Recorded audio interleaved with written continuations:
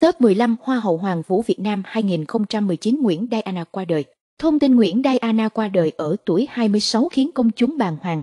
Trên trang fanpage của Miss Universe Việt Nam vừa thông báo tin buồn rằng Nguyễn Diana, Hoa hậu thể thao, top 15 Hoa hậu Hoàng vũ Việt Nam 2019 đã qua đời. Chúng tôi vô cùng đau buồn khi nhận được tin Nguyễn Diana, Hoa khôi thể thao, top 15 Hoa hậu Hoàng vũ Việt Nam 2019 đã qua đời. Từ tận đáy lòng, chúng tôi gửi lời chia buồn đến gia đình và những người bạn thân của Diana. Chúng tôi sẽ luôn nhớ về cô gái xinh đẹp với nụ cười rạng rỡ. Tạm biệt thiên thần Diana, hãy yên nghỉ. Thông tin Nguyễn Diana qua đời khiến công chúng vô cùng bàng hoàng và xót xa. Nguyễn Diana mang trong mình hai dòng máu Việt, Nga. Cô sống ở Hà Nội, có mẹ là giáo viên người Nga, bố là hướng dẫn viên du lịch. Cô thông thạo tiếng Việt, Anh và Nga. Người đẹp từng thi hoa khôi áo dài Việt Nam 2014.